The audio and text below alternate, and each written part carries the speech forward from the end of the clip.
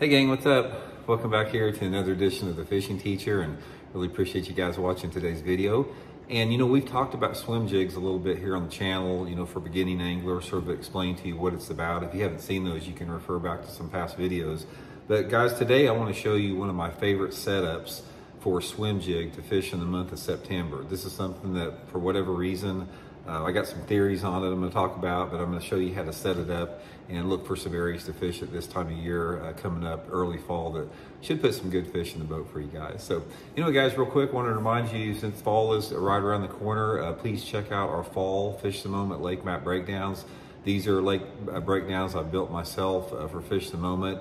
Um, it gives you 40 GPS waypoints on your favorite lake, uh, tips and advice on how to fish them. Um, if the lake you fish is not on our website, you can book a virtual lesson with me. But that's a good way to, to get some good spots for this fall. It's also a good way to support the channel here. So much appreciated. Okay guys, swim jigs are one of the favorite lures to fish. If you're not familiar with it, if you're getting started like a lot of anglers are, a swim jig is a jig just like a regular jig, except it has a head that's more of a fish-like or it's a streamline head. You know, most jigs out there have some type of a bulkier ball head but a swim jig has a head that's more aerodynamic, aerodynamically designed. It's designed to swim through the water. You know, a swim jig is not designed to be bounced off the water off the bottom. It's designed to be reeled through the water column. And the specific setup I want to show you guys today is using a white swim jig. This is the uh, Megabass Uoze Swimmer, which is freaking awesome, guys. I'll put the Baitwrx link in the description if you want to get you one. It's got a really cool nano hook and it's got a really good keeper here that when you put your plastic on there, it never comes off. Little blade on there for extra attractant, but this is really good swim jig.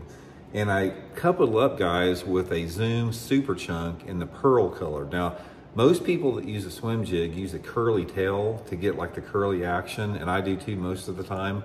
But something about the month of September, um, I don't know what it is again. It's just the mood and the personality of the fish. I catch a lot of fish on this chunk here. And I actually, I, I, can't take credit for this. There's an angler named Steve Kennedy that fishes the Bassmaster Elite Series. And he sort of made this thing famous on the Elite Series. I started using it several years ago when he, I watched him on some TV shows and he was catching them and it works really good. But anyway, I put this uh, Zoom, you know, uh, super chunk on the back of it and just, uh, you know, fish it around any shallow cover. But the thing about it is since this does not have a tail action on it, you got to put the swim jig action yourself. So what you want to do, you throw your swim jig out there, keep your rod tip high, and as you reel it, just shake it back like this all the way to the boat. Just shake your rod and reel like that at the same time. And when you shake your rod, the little shakes makes this tail undulate up and down like that. And there's something about this undulating flat tail that it just gets more bites than like a curly tail does. Now, there's a couple things that you need to look for as far as for this thing to work. The first thing is you've got to have stained water. Um, if you've got water visibility that's over about, say, 12 to 15 inches, it's not going to work very good. Ideally, I like the water visibility to sort of be in that 8 inches to 12 inch range. That's when it really, really works good and it works around a variety of cover. My favorite type of cover is fishing it around, uh, you know, lay down trees or stumps, uh, maybe some off the side of a dock if there's some shade coming off of it. But any shallow wood cover that you have, and you want to you want to keep it in sight. So when you cast it out there and you're shaking it and reeling it back, keep the thing high enough in the water column to where you can see it or just maybe you can once in a while you barely lose sight of it then pull it up where you can see it again. But the whole key on this thing is you want to keep it high enough in the water where the fish have to come up on it.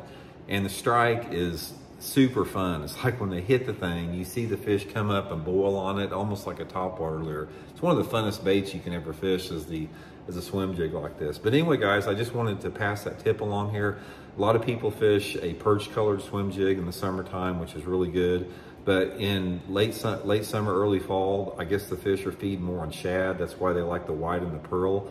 But just get you some, guys. This is, like I said, I'll put Baitwrx link in the description for the chunk and the jig both.